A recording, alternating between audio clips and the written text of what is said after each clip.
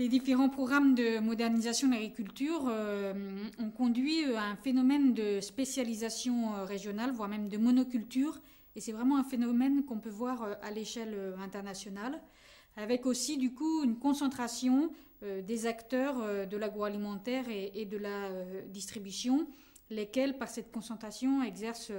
un pouvoir et des pressions très fortes sur les agriculteurs, notamment pour faire baisser euh, les prix. La mondialisation, et en particulier la libéralisation des échanges commerciaux, est venue renforcer euh, ce mouvement à l'échelle internationale. Prenons le cas de l'Europe. On cultive aujourd'hui peu de plantes de la famille des légumineuses, comme la luzerne, alors que c'était une culture très fortement répandue dans les fermes en Europe euh, jusqu'aux années 50. Donc les plantes de la famille des légumineuses, ça donne des produits à haute valeur protéique, donc c'est particulièrement prisé par les éleveurs pour nourrir euh, leurs animaux et ainsi euh, mieux produire euh, du lait ou de la viande. Comme on a peu de cultures légumineuses en Europe, nous importons du soja latino-américain et ce continent s'est fortement spécialisé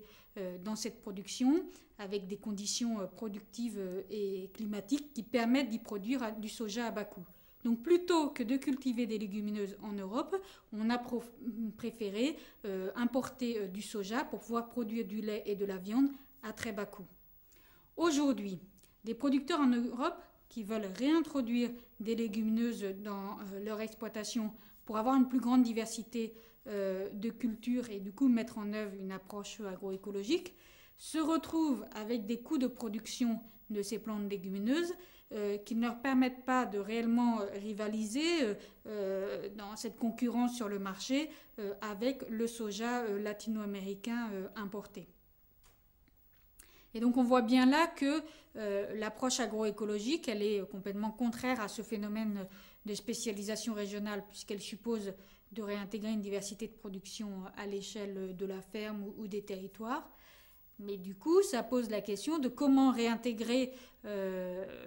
pas seulement les espèces légumineuses, mais par exemple comment réintégrer des activités d'élevage dans des régions où l'élevage a disparu, donc il n'y a plus euh, d'abattoirs pour y abattre euh, les animaux d'élevage.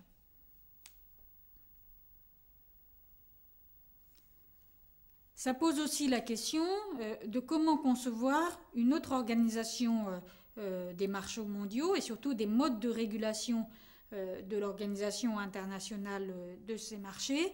pour que euh, on puisse effectivement dans chaque euh, région du monde cultiver une diversité d'espèces en n'étant pas mis en compétition, en concurrence avec des mêmes produits qui sont cultivés ailleurs dans des conditions productives plus avantageuses.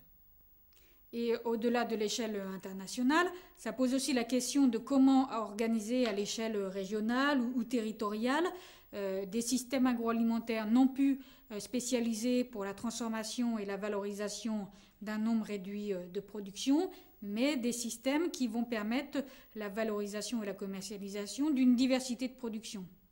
Alors est-ce que c'est le mode industriel qui est le plus adapté pour cela? Ou sinon, de quelle manière concevoir et adapter des systèmes agroalimentaires et de distribution à l'échelle régionale et territoriale pour qu'ils soient adaptés à la transition agroécologique.